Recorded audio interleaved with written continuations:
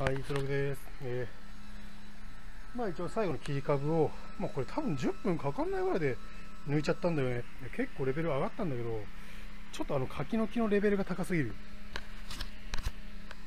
で、あとあそこを抜かないと、ちょっと全然作業を慎重しないんで、その、であとここのコンクリっていうのもダメなんで、もう業者に頼る方向でいきます。まあ、一応今日一日は掘ってみるけどやっぱりこの作業スペースなんで多分もう5 6 0センチ周りは掘んないとダメなんでちょっと業者だねあ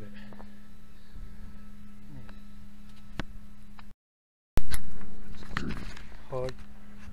えーと今状況変わってきてとりあえずこの手前側掘れないから、まあ、奥の方を掘っていこうかなって感じです。いやー、しかしなんかトイレの匂いがいい匂いだね。サンポールの匂いがいい匂いだわ。腐れ。で、まあ、今後の計画として、これ切り株を引っ張ります、車で。で、引っ張って、まあ、向こう側だよね。まあ、大体ここ向こう側の根を切ってれば、こうやって倒れるから、ちょっとそれ狙っていこうかなって感じで、ちょっとあっち側掘り下げていこうかなって思います。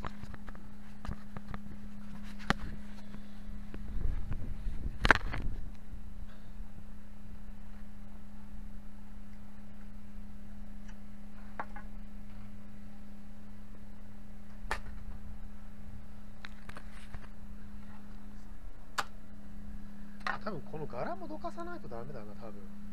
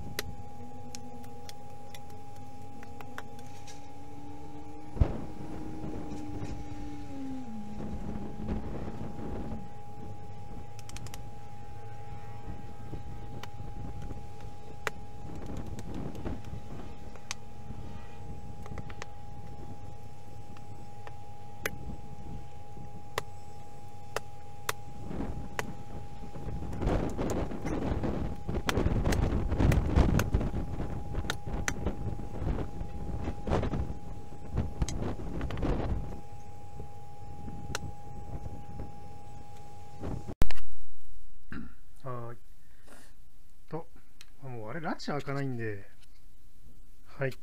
ケインロープを引っ掛けて、これでいけるかどうかちょっと試してみます。